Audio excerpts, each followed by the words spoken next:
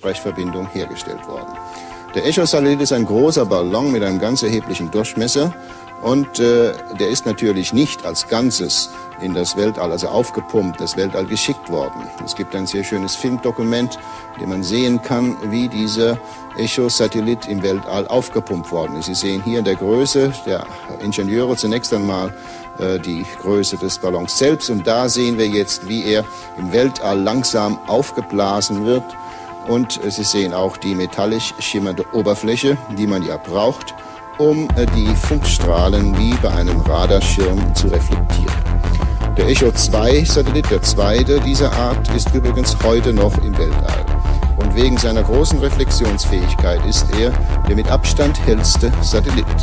Ich habe ihn in den letzten äh, Jahren eigentlich fast an jeder klaren Nacht beobachten können. Wenn Sie, meine Damen und Herren, einmal draußen sind, weg von den Lichtern der Stadt an einem klaren Abend, halten Sie mal nach ihm Ausschau. Sie werden ihn, ihn sehen, er gehört zu den hellsten Gestirnen des Nachthimmels und es ist der einzige Stern, der im Westen aufgeht und im Osten untergeht. Inzwischen sind natürlich dann die Nachrichtensatelliten noch weiterentwickelt worden. Der nächste Chip trägt den Namen Relay. Dieser Satellit ist bereits imstande, drei getrennte Fernsehprogramme mit Bild und Ton zu übertragen. Und dann die neueste Entwicklung, das ist äh, der Syncom-Nachrichtensatellit, der in einer besonderen Bahn die Erde umkreist. Ich habe hier ein Modell der Erde und des Syncom-Nachrichtensatelliten. Ich glaube, Sie erinnern sich vielleicht, wir haben vor einiger Zeit in einer der Folgen das schon einmal gezeigt. Wir sehen hier die Erde, die ja für ihre Rotation 24 Stunden benötigt.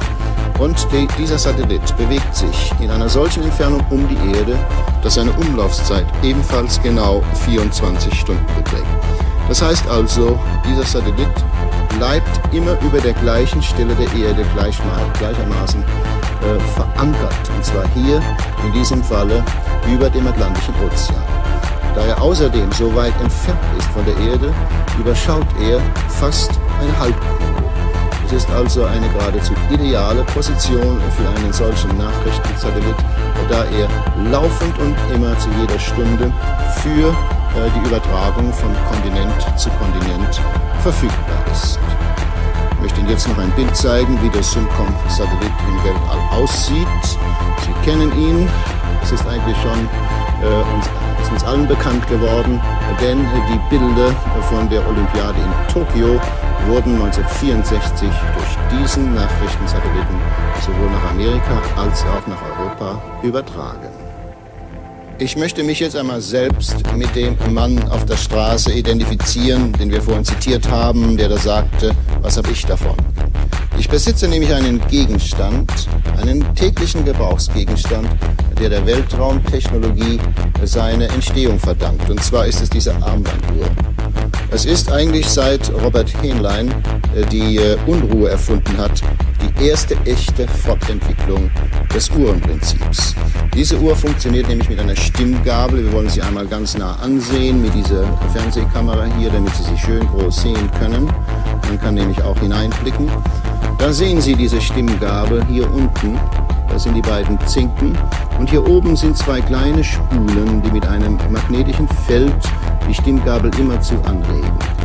Die schwingt 360 Mal in der Sekunde und die Bewegungen werden dann auf das Uhrwerk übertragen. Achten Sie einmal darauf, wie der Sekundenzeiger völlig gleichmäßig läuft.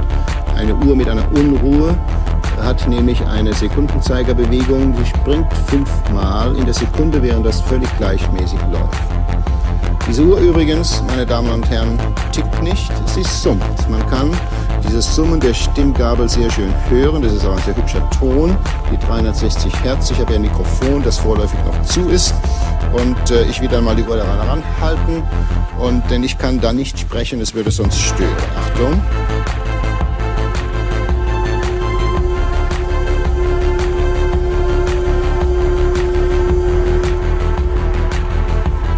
Glaube, Sie haben ganz deutlich diesen Summerton gehört. Jetzt das Mikrofon ist wieder geschlossen, ich kann jetzt wieder sprechen.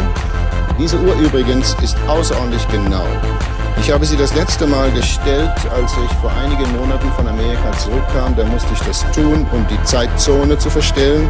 Sonst aber geht diese Uhr in etwa einem, nur etwa eine Minute in einem halben Jahr nach oder vor. also sehr genau und natürlich auch äh, ein wirklich sehr schönes Spielzeug. Nun, meine Damen und Herren, wir sprachen zuvor von den Syncom-Satellit, der hier, wie wir im Modell gesehen haben, die Erde alle 24 Stunden einmal umkreist. Man hat nun einen weiteren Satelliten in Planung, der ebenfalls in dieser Synchronbahn die Erde umkreisen soll und dabei immer eine halbe, also die eine Hemisphäre, die halbe Erde dauernd im Blickfeld hat.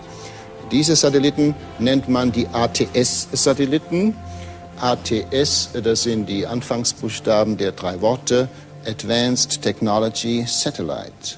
Das heißt Satelliten für fortgeschrittene Technologie.